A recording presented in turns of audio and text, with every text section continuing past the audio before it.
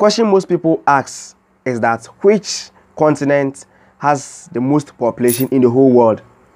You may think it's Africa because Nigeria has the biggest population in Africa, in the whole of Africa. No. If today is your first time coming across a, a content like this, let me see your comments in the comment section. Follow us, like our video, share and comment down below. It is your favorite boy, Sticky the Superstar. So the continent with most populated people is Asia.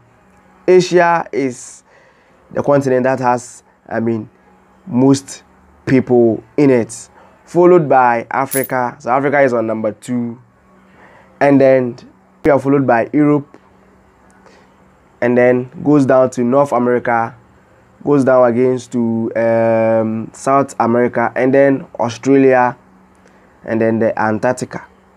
So this is what we got for you guys today. The most populated continent in the world is Asia. Africa is on number two, Europe number three, um, North America, South America, and then Australia. The last one is the Antarctica.